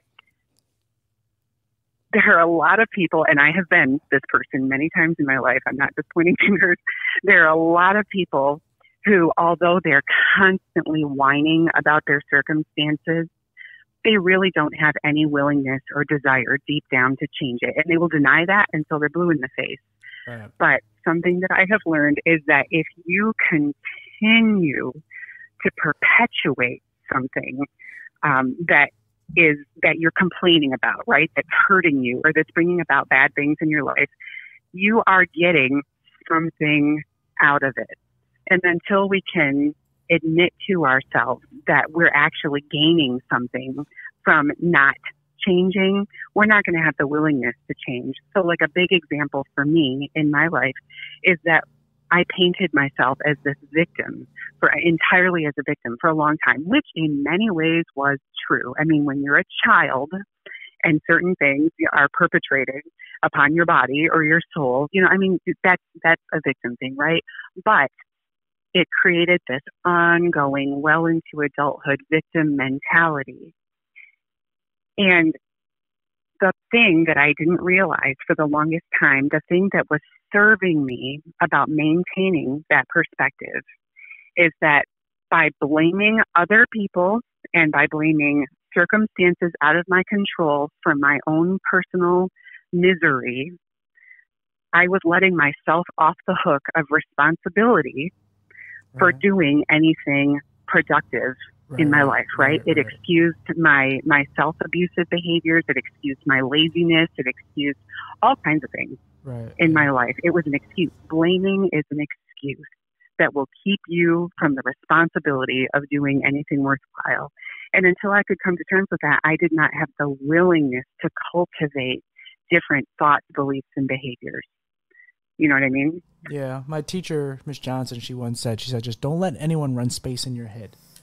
And mm-hmm. it always stuck with me because it's just like, yeah, you just continue to let you know people bother you and you let little things that other people are doing and you're worrying about other ones someone else's success and and all this other stuff and again there's some you know human nature is what it is you know we all want things that other people have even if it's not someone you know it's just like oh I look that beautiful girl or guy you're like i want that person but you can't ever have them whatever there's things we always envy and we always want and whatever it's, it's you know it's human nature but you just can't let it linger you can't let it stay there to the point where it just it keeps you from being productive because you're just gonna sit there and you're right. just gonna constantly wait for something. You know, like even just back to the whole dating. It's like, yeah, I'm lonely. I'd love to find a decent girl in my life, but I also know, you know, by just bitching about all the other people that are happy, it's not gonna, you know, no girl's gonna be turned on by the idea of oh, it's just this angry guy who just is mad that all the pretty girls went to the, the you know, the the shitty guys or whatever.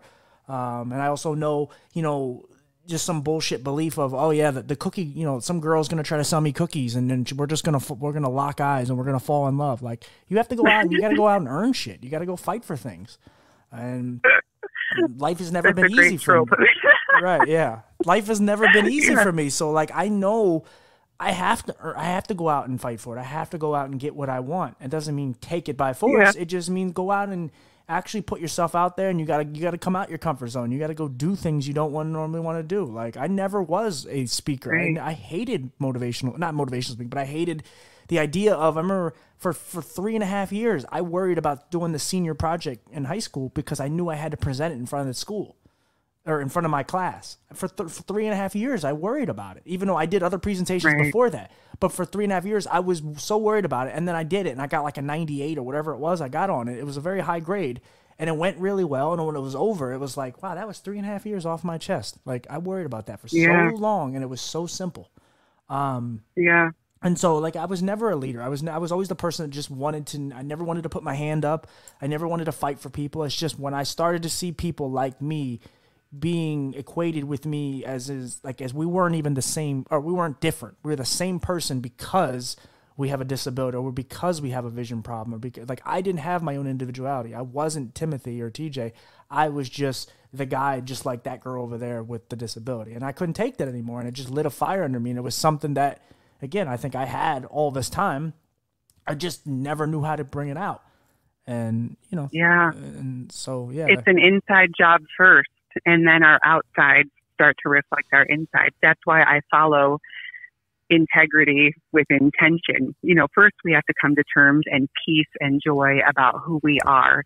And then we align outer, you know, in our outer world about what that is. And that brings me back to what I was saying in the beginning about the difference between acceptance and resignation. You know, there may be certain challenges in my life that I would prefer not to have you know, but I have a choice between between accepting it as a factor that I need to think about as I'm making decisions, mm-hmm. you know, or I can wallow in self pity about those things and never take any kind of action at all. And I don't mean to say, I, I need to clarify this a lot recently, that I don't mean to say that we should not allow those stages of grief, yeah. uh, particularly when it comes to things like, you know, diagnoses that are lifelong or, you know, whatever. But there's a difference between allowing the feelings to be felt and to pass through us and to go through those stages and pitching a tent yeah, don't let it in that dark place and living there for the rest of your life. Right, yeah. And that's a really important balance. Um, I actually have talked about that a couple times recently. And I have a, a weekly column um, in uh, Authenticity Mags online um, called uh, Sara's Inbox to go along with my, you know, ins, where people ask me questions largely related to authenticity but where we say, you know, what do I do, you know, when my when my insides don't match my outsides, or when if I were to make my insides match my outsides public, that people would reject me, or you know, all those things are part of that process. But it it really needs to start with. I don't want to say ruthless because being mean to ourselves is not productive, but with rigorous honesty, you know, about ourselves and um, again, you know, trusting the perspective of people who know us well and whom we respect, not just whom we're desperate for their approval. That's a completely different thing. but right. people whose whose lives and philosophies we respect and, and would be honored to emulate. Right. You know, if we can look at, you know, what is really happening here, you know, and it, does that really align with who I'd like to be and who I'm designed to be, and how can I change? how can I pivot how I think and how I believe and how I behave to more clearly reflect my my highest potential um, as a human being. And I don't just mean in what you can accomplish, like on paper. I mean just in your being. You know, even when you're alone by yourself. And I think that's what you're talking about about when you can really become your highest self then you become, even though you maybe would like to have something different, like you'd like to have a romantic partner, when you're really truly at peace with who you are, you make space for the most beautiful relationship to develop when it's time because you're going to attract a completely different kind of woman, right? When you're feeling desperate and needy and lonely and not good enough without a woman, right. or when you're feeling expansive and like, being with you would be as much of a gift to the other person as vice versa, right? Right, right. And that's a that's a completely different mindset that sets you up for a completely different set of circumstances. Yeah, every I think everything you go through, you have to have a certain amount of balance. Like, there's nothing wrong with having like a killer instinct of just like a determination of like I'm going to get this done no matter what. But then there's also the part of it where mm-hmm. you're just like, well, there has to be a what because that's how you step on people's toes. That's how you step on people to get to where you want. So you got to like, you know, not right. to, not to make this sports podcast, but even just like how people talk about like Kobe Bryant, where it's like he had this killer instinct of wanting to win so bad that he kind of was a shitty teammate. Like all he wanted to mm. do was win. That he didn't really kind of appreciate the people who actually helped him get to where he got to, at least for the majority mm, of his career. Huge. Yeah. So it's like burning bridges. Right. And so, and I've always yeah. been about unity and trying to get people here. But there's a part, you know, there is a time where you need to be selfish. You have to take care of yourself and you have to, you can't always think about everyone else. And I, a lot of times I don't leave room for, for myself. I'm always about what other people are doing because making other people happy and knowing all my friends and the people I care about are happy makes me happy. But if you don't take time to kind of wallow in your filth and just go like, okay, this is really sad. This is re-, like if, if someone dies and you become so desensitized to just whatever that's been going on, you know, or death or whatever that's been happening in your life that you can't even cry or you can't even really, you know, kind of take the energy and put it to some sadness or some anger, like then you got to realize there's a problem. Mm-hmm. You can't just be smiling when, you know, something terrible happens. So right. you have to have a balance. Right. Acknowledging said, it. Being right. selfish is okay because that's human nature. We're all a little selfish. It's just you got to put it in the right areas and not, you know, you right. Well, self care is so important. Yeah. Yeah, and this leads to you know another thing that I write about a lot is about the the crazy making um, scenario of constantly being attached to outcomes. You know, like I'm only worth something if I make another person happy, or what I did was only good if other people respond to it in this way. And I write a lot about the difference between goals, you know, like big picture, long term goals and intention, which means today or in this moment, what is the next right thing to do? Because you don't know from day to day. To, if you're so fixed on a particular outcome, especially if that outcome hinges on things completely out of your control, like other people's perception of what you've done, right? Or paying for what you've created or whatever, you may never get there. And you may miss detours that would have led you to something even better along the way, right? So if I can just focus on today, right now, what is the highest best, most healthy, most productive, most aligned thing that I can do today, then whenever opportunities come up, I will be in a position to hit the ground running because I've already been doing that work and I've already been creating things and I already have something to show. And it opens up possibilities for an incredible number of things to to come out of it than the one thing that you had an iron grip on that may or may not happen. I actually recently heard this being talked about in a podcast, and I wish I could remember which one it was, but they were talking about a study with Navy SEALs. And they were talking about which ones are successful at getting through what they call Hell Week and which ones aren't. And they interviewed these guys afterward and about their mindset during Hell Week and, and what happened. And what they found is that the guys who were thinking about, I have to get through this entire basic training thing before I can be a Navy SEAL, and oh my gosh, I have to get through seven more days of this awfulness or whatever. Those were the guys who failed and dropped out, right? Mm. And the guys, so apparently, even though they only get to eat once a week, I mean, to sleep, sorry, to sleep once a week for just a few hours in the middle of that hell week, they have to be fed every, I think it was six hours and the guys who succeeded were the guys that just told themselves, I only have to get to the next meal and then I can sit down and I can regroup and then I can, and then the next meal and then the next meal. So the guys who had this big, overwhelming goal would freak out and go, there's no way I can do this whole thing. It's kind of like alcoholics or other people in recovery, right? If you think about in early recovery about I can never have another drink again for the rest of my life, that's overwhelming. Right. Nobody's going to make that. But if you think, I'm not going to drink today, or I'm not going to drink for the next hour, well, then days accumulate into months, accumulate into years, accumulate into your life, right?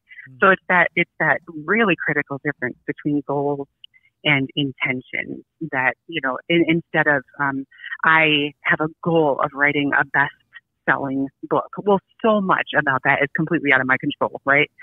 But if I can intend to sit down and write for an hour every day, there's a really good chance that I'm going to come up eventually with something of quality that may do well in the market, right? Right. And it's not all about like Does sometimes, yeah, and a lot of times it's, it's not like I think people automatically because it's a lot of times it comes down to how bad do you want something, and it's not all about the execution. It's just sometimes it's just effort. So it's like I I may mm. be frustrating with like oh, it's getting hard to find you know, uh, you know, more people to listen. And it's like, okay, yes, it is hard. But if I don't do the podcast at all, and I just stop trying and I stop reaching out to people and I stop trying to get on to other podcasts and so on and so on. If I stop making an actual effort, it's going to be even harder. There's no, it's not, most right. likely an audience isn't just going to appear like if I just stop doing it for a year and then all of a sudden just, you know, maybe, maybe a link gets clicked on by somebody famous and they go, this was impactful and then it goes out to the world. But we can't prepare for that. So you just got to continue right. to put an effort out. So even if the even if you're, you know, what what you intended to execute isn't really necessarily happening, you continue to you know run into these locked doors or whatever. There's still maybe a door down the road that's unlocked. You just got to continue to you know continue to reach for the doorknob and see if they open. And yeah, you, got to keep trying. And if you don't try, it's most likely not going to happen. So sitting around yeah. and just going like, oh, well, it won't happen yeah, it sucks. It, we all go through that. We all get our setbacks, and it, it kind of goes back to what I was talking about with like quicksand. People talk about the you know the quicksand theory, but it's it's you know yes, if you you know a lot of times if you continue to reach for that stick, it's going to continue to pull you further down.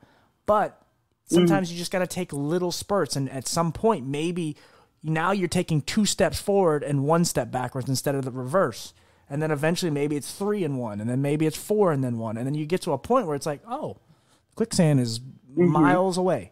Like you, you're you're so to the point where now you're so far ahead and you've strived so much that you just you've succeeded, and it's just maybe not the intend destination you you know planned on landing on. Because again, I never thought I'd be where I'm at right now, a year in doing this, and I didn't even think I'd even do this for a year because I usually give up on myself. So, um, but yeah, like I said, it, I think that's part of it's the repetition part. Is the it's the kind of getting yourself out there and actually you got to realize that you're going to run into a bunch of speed bumps. You're not gonna always get what you wanted on the first try. Like I I've gotten a lot of success and, and luck with with my guests, But you know, there's plenty of people that said no. I shouldn't say said no, but a lot of people just didn't even respond and all that.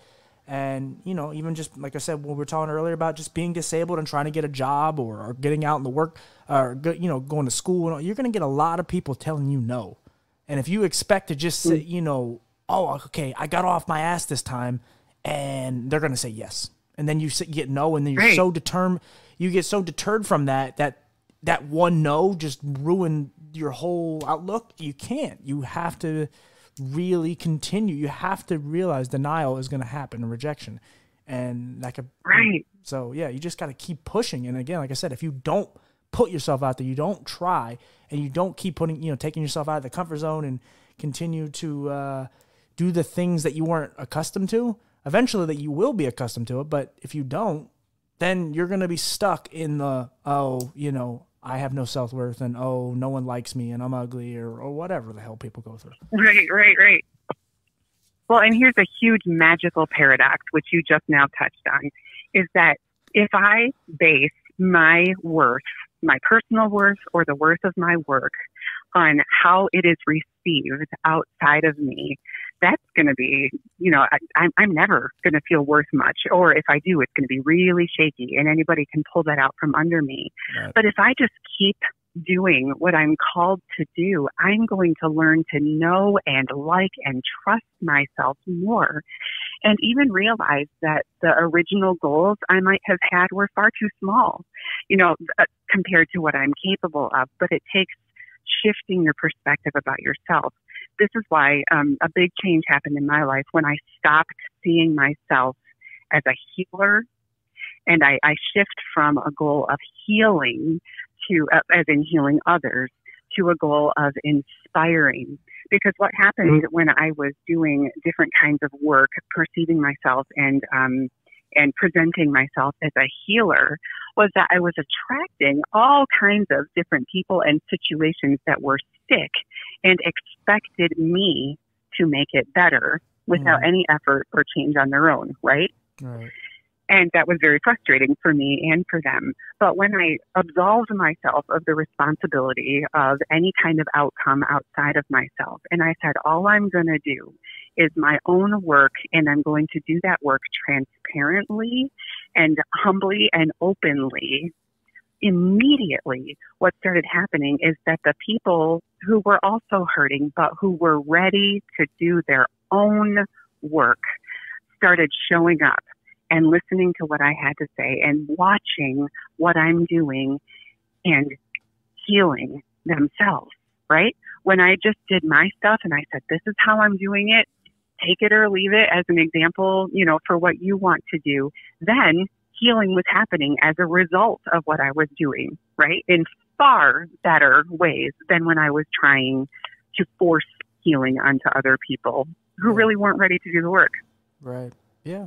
And again, and, right. and they say, you yeah. know, you, the energy you get back is the energy you put in. And again, mm-hmm. you, you could believe that or not or whatever, but again, if you just constantly put out negative energy, yeah, most likely people aren't probably going to like you. I mean, maybe you get some people that gravitate towards you. Like I always talk about two things I don't talk about here is politics and religion. Well, one of the especially politics because again, if I get on here and go, "Yeah, I love Trump." Guess what?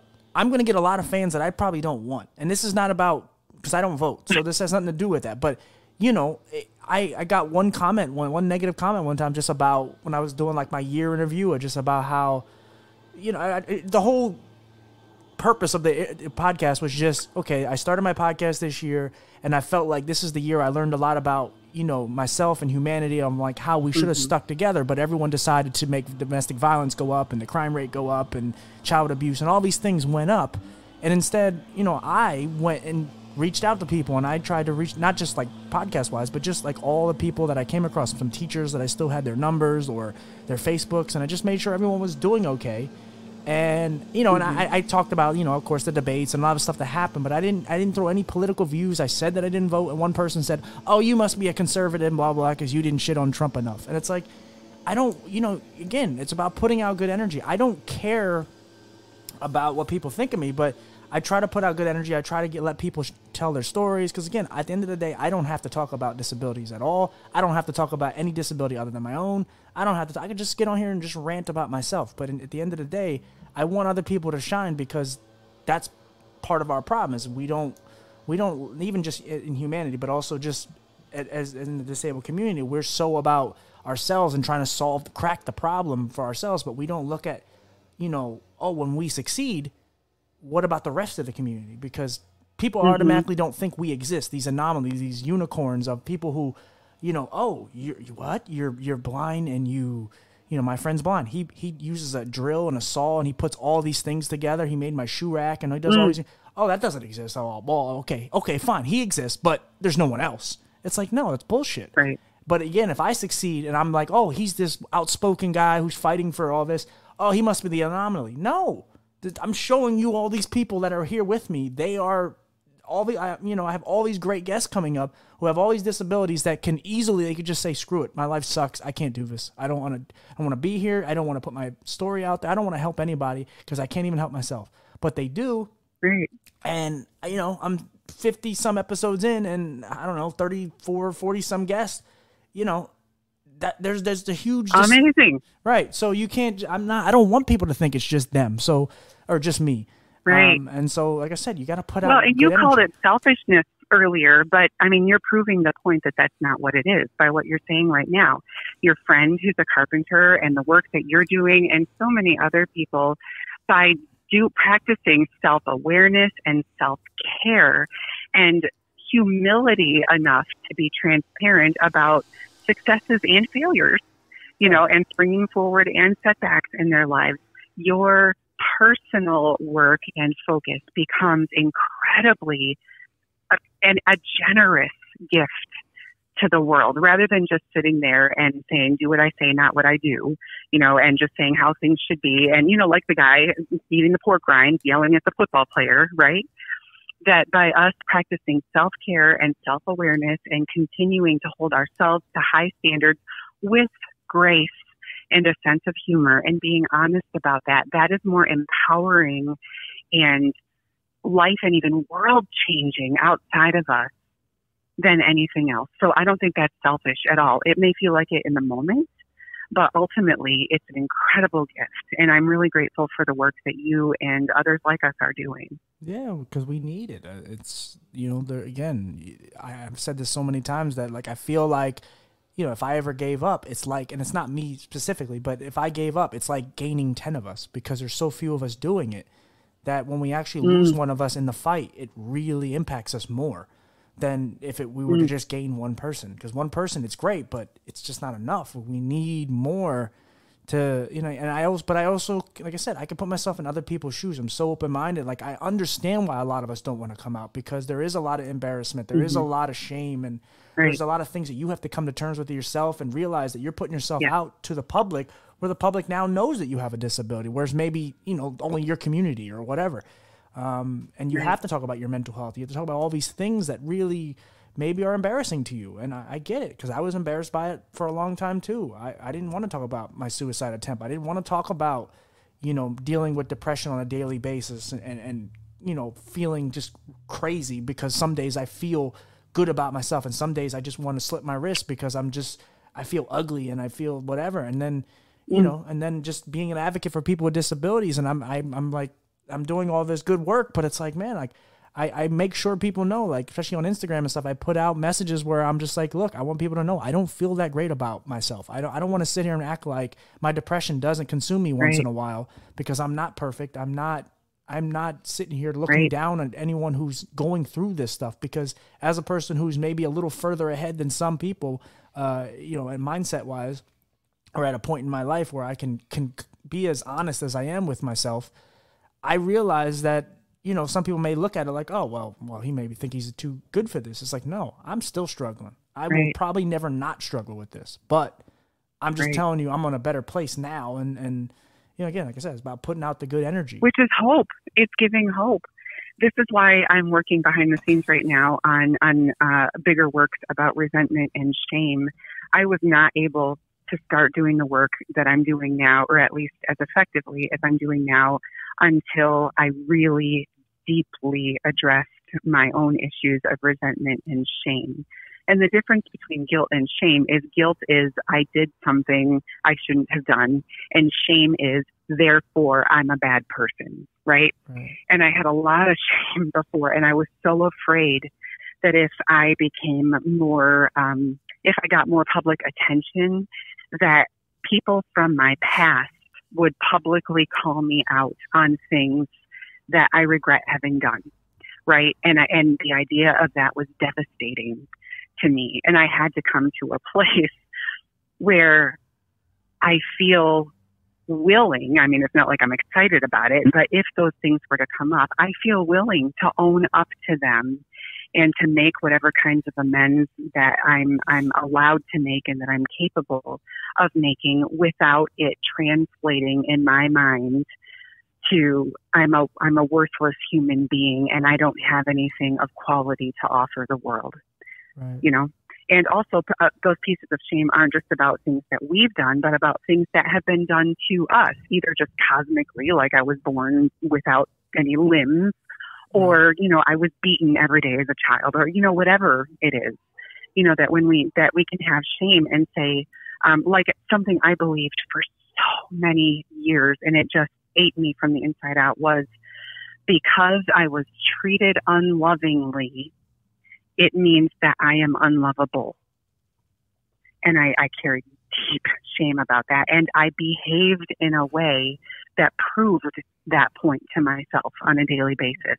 Yeah. I treated myself as an unlovable person, and that leaked out and hurt other people around me too.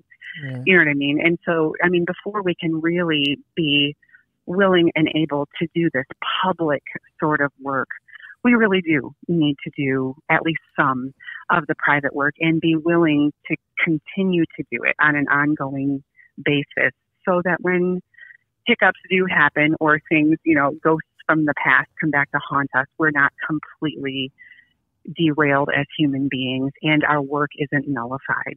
Yeah, absolutely. I mean, you know, again, it, it, someone tells you something enough. You know, you even see it in a good way. You you see guys that are like overly confident because 10 girls told him that he's cute. So he gets it in his head, he gets mm. big headed and goes, Oh, I'm cute. You know, but it, it can definitely impact you the other way, and more so, most likely. Right. Um, you know, yeah, if something is told to you, oh, you're a whore, you're ugly, you're whatever, you, all these horrible things that people right. are told, they're probably going to go reenact it because it's like, well, I guess I am this thing. Um, but right. I think what's amazing about you is like, you know, again, I, I guess it looks like all of our conversations are just going to be long, but we had a long conversation uh, a couple days ago and you know, at the yeah. end, you were saying you had to go because you had all this, you know, chronic pain and, and all the things you're going through. And, and, you know, of course, I felt bad for you, but yeah. you say it like it's just so matter of fact. Like you, you, still sound happy. You still sound like a person. Again, I'm sure, sure, you you go through every, you know, you go through your moments and whatever, as we all do. But you still sound like a person who just, in, you know, loves her life and still wants to be alive and still yeah. wants to make progress and do all these things. Whereas you know, if, if you probably ran, if you didn't know you and didn't hear your voice and all that, and you just read your whole bio of everything you've been through, if mm. everything was on some sheet, you would think you would right. probably be a person that just would hate life and be angry and sad and all these things. But you still have gotten to the point where you're just, like I said, you you sound like a nice person. You sound happy. You sound like a, and again, you, you get it from. Oh, your, I have them fooled. No, I'm kidding. well, maybe. Well, you know that really comes back to the not qualifying things. You know, there the question is, I think a huge question to ask yourself is what is your therefore in your mind? We usually don't say the therefore out loud, but I could have said the other day, right, like, um, I, I'm in pain, um, and, you know, therefore I'm, you know, whatever, I'm, I'm worthless. I'm, you know, I shouldn't have done this. I'm, I'm incapable of doing things, you know, whatever. I could have all that. Or, like I meant the other day, I'm in pain. Therefore, this is a good time to stop and let me practice some self care you know, and the first one is a qualifying statement, right? Therefore, you know, I'm a bad person or my life is bad in some way, right? Where the second therefore is like I was talking about, like a scientist, you know, therefore, you know, this is the the thing that should be applied to the situation in in that case was rest and medicine, right? And that can be really, really freeing when when we can start to make um, our perceptions and our decisions revolve around um, what is practical rather than what is um, uh, a judgment. Does that make sense? Yeah. No, I, like I said, my whole yeah. thing was just that, you know, in a moment where you know, like I said, I felt I really felt for you because you're just like, oh, I gotta, you know, I'm in a lot of pain. I just want to go relax and do. And it's just like, but you you didn't say it like you had any shame or there's anything wrong with it. You just said it like, Oh, yeah, no. like this is something I do in my life. I just I don't I don't want to be sitting here talking. I just gotta go relax. And it was just like, oh, like it, it was Right. very kind of very humbling in a way because it was Yeah. just, just like okay, like it's just it's it's nice. Like there's nothing about it that you it's just it's something you just own and it's like yeah i'm sure it, it sucks you probably Well, it's also a way of respecting you and your time. If I'm in so much pain that all I can do is think about the pain that I'm in, we're not going to have a quality conversation. I'm not going to really hear and care about what you have to say, and I'm not going to have much to contribute, right? So self care is also putting us in a position to care better for others. right yeah And again, it's inspiration. If it's okay me to say, you know what, I've done enough today. I've been grateful to offer this, but now I need to take care of myself. That gives you inspiration and permission to do the same in your life. And that's something that's catching, that will catch on to the next person you practice self care in front of, and so on and so on. And that's a beautiful thing. It's a beautiful thing. Sometimes, so often, actually, I make it, I make and occasionally sell these things that are called permission slips. Um, and they're literally like, you have permission to take a nap. you have permission to, Right. you know, whatever, because so often we don't do things literally because no one's ever told us that it's okay to do. And we have this whole list of things in our heads that we think are like rules that really aren't and Right. and but they don't sometimes it's really useful to verbalize them which is why i literally write them down and give them to people like a little prescription from the doctor but sometimes permission is given to observation. If she can do it i can do it. You know it seems to be working well for her. Maybe it'll work for me. You know and and that's just living your best life without an agenda and yet having beautiful results just blossom around you as a result of you doing your work.